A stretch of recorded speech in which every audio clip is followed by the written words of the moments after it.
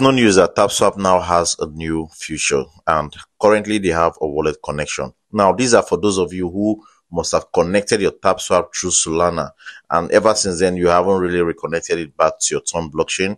Well, this video is for you. First of all, what you need to do is to come to your Tonkeeper. I prefer using Tonkeeper all the time. You come down to where it says add wallet, okay? And then you create a new wallet. I like doing this for all my um, airdrops. it's very important. And it says enter passcode. Okay. So you just have to enter a passcode you created. Okay. So it says instant notification. You click on later or you could enable it whichever way.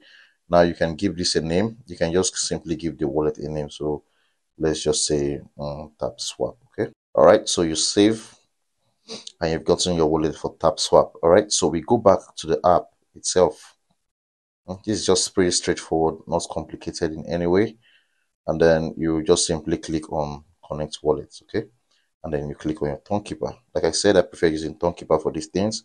And then you just click on connect wallets, okay? And then you can put in your passcode. And that is it. This is how you get to connect your your wallet on TapSwap. It's very easy, it's just straightforward, guys. There's nothing complicated at all. So straightforward. And then if you come to your town. There's a new task coming up in three days.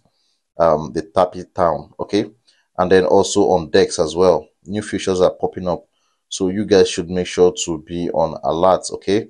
Be on alert so that you can perform most of all these airdrops, and um, probably perhaps you know get get started with if you haven't, because I think this project there's a lot of features coming up on it, and um, it's really important you get right to it, okay it don't pass like that.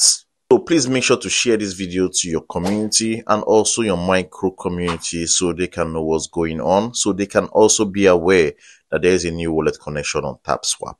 And if you do like crypto content just like this, please be sure to like, share and follow and also subscribe so you can be up to date with whatever video I put out here.